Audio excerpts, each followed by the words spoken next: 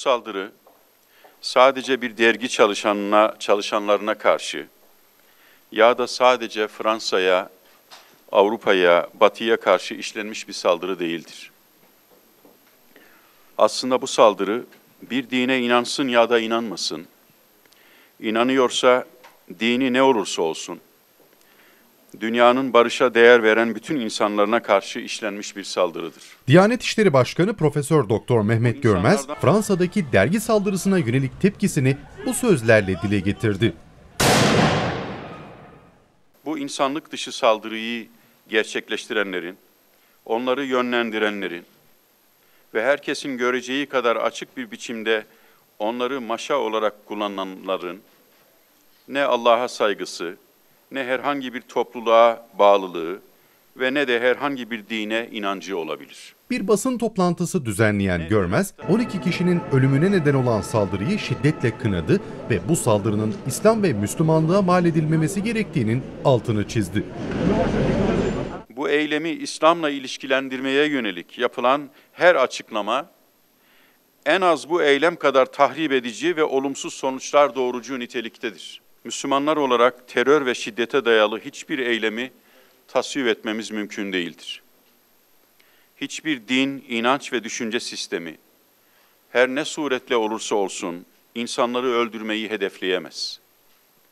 Aksine başta İslam olmak üzere bütün dinler insana hayat vermeyi hedefler. Şiddet ve terörün neden ve gerekçe gösterilmeden insanlık suçu kabul edilmesi gerektiğini belirten Görmez, İslam'ın kutsal değerlerine yönelik saygısızlıklara verilecek tepki için Peygamber Efendimizin Taif'te uğradığı saldırının ardından sergilediği tavrı örnek gösterdi. İslam peygamberini Hz. Muhammed Aleyhisselam'ın adının kullanılarak bir intikam duygusuyla yapıldığı söylenen bu katliam aslında Hz. Muhammed Aleyhisselam'ın bütün insanlığa kazandırdığı yüce değerleri yok etmeye yönelik açık bir saldırıdır. Başka bir ifadeyle bu saldırı İslam'ın ve bu yüce dine mensup Müslümanların kendisine doğrudan yapılmış bir saldırıdır. Hiç kimse ve hiçbir Müslüman ifade özgürlüğünü istismar ederek Hz. Peygamber'e karşı yapılan saygısız ve seviyesiz düşüncelere karşı onun asla tasvip etmeyeceği çirkin yöntemlerle karşılık veremez.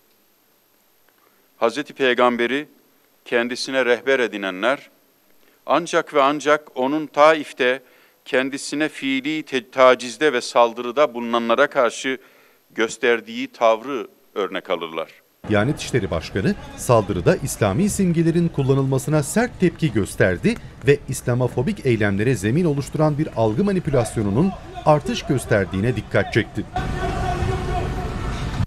İslami simgelerin açık ve aleni olarak bu eylemi gerçekleştirenler tarafından kullanılmış olması bir algı manipülasyonudur.